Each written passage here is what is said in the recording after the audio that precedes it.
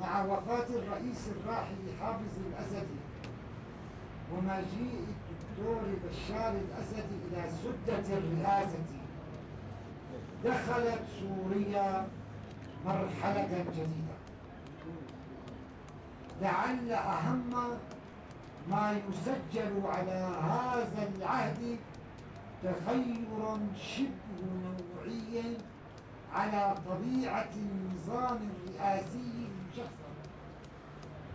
إذ جرى نقل السلطة من الأب إلى الإبن فأصبحنا أمام نظام هجين لا هو بالنظام الجمهوري تماما ولا هو بالنظام الملكي تماما.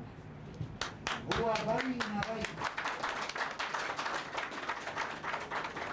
أو ما اصطلح على تسميته بالنظام الجمهوري الرسمي.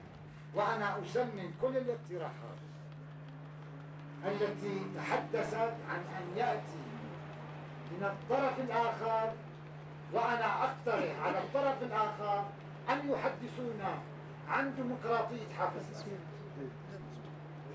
فلا تحدي ما عشت ديمقراطية العهد. أكثر واحد عاش انت